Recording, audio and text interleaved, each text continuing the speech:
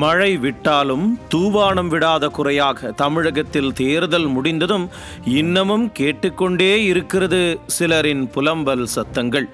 அரை நூற்றாண்டை கடந்த கட்சி தமிழகத்தை அதிக ஆண்டுகள் ஆண்ட கட்சி என்ற பெருமைகளை கொண்ட அதிமுகவை சீண்டி பார்க்க நினைத்தவர்கள் காணாமல் போன வரலாறு தெரியாமல் வாய்க்கு வந்ததையெல்லாம் பேசி பேசியே மக்களை கவர்ந்து விடலாம் என்று எண்ணிக்கொண்டிருந்தவர்களின் தலையில் தட்டி உட்கார வைத்திருக்கிறார்கள் தமிழ்நாட்டு வாக்காளர்கள்.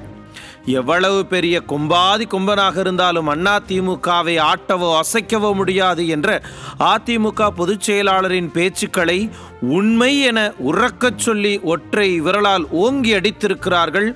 கிராமப்புறமெங்கும் நீக்கமர நிறைந்திருக்கும் அதிமுகவின் ரத்தத்தின் ரத்தங்கள் தேர்தலுக்கு முன்னர் வரை நாங்கள் அத்தனை வித்தியாசத்தில் ஜெயிப்போம் இத்தனை வித்தியாசத்தில் ஜெயிப்போம் என்றெல்லாம் வீர வசனம் பேசி வாய் வித்தை காட்டி வியாக்கியானம் சொன்னவர்கள் தேர்தல் முடிந்ததும் களத்தில் நடந்தவை தெரிந்ததும் உண்மை புரிந்ததும் துண்டை காணோம் துணியை காணோம் என்று ஓடிப்போக தயாராகிவிட்டார்கள் எப்படியும் தேர்தலில் நமக்கு தோல்விதான் என்ற உண்மை தெரிந்ததால் பாஜகவின் பல வேட்பாளர்களும் ஐயோ என் கிணத்தை காணோம் என் கிணத்தை காணோ என்கிற வடிவேலுவின் காமெடி போல ஐயோ தொகுதியில் இருந்த ஒரு லட்சம் ஓட்டுக்களை காணோம் ஒரு லட்சம் ஓட்டுக்களை காணோம் என்று பொங்கிக் கொண்டிருக்கிறார்கள்.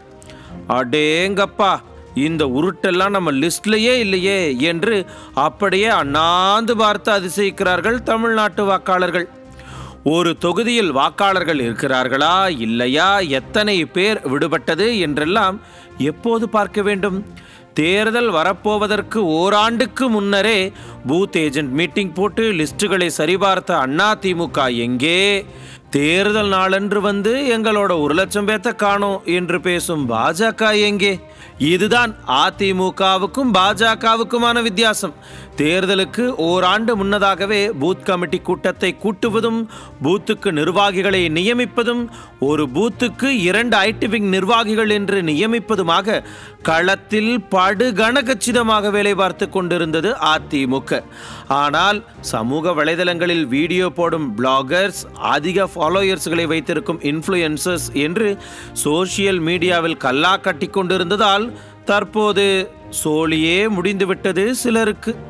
ஆக ஒரு லட்சம் ஓட்டுக்களை காணவில்லை என்று காரணம் சொல்லும் பாஜகவினருக்கு தோல்வி அடையப் போவதற்கான பதற்றம் முற்றிவிட்டதன் வெளிப்பாடுதான் இந்த பிதற்றல்களோ என்ற சந்தேகம்.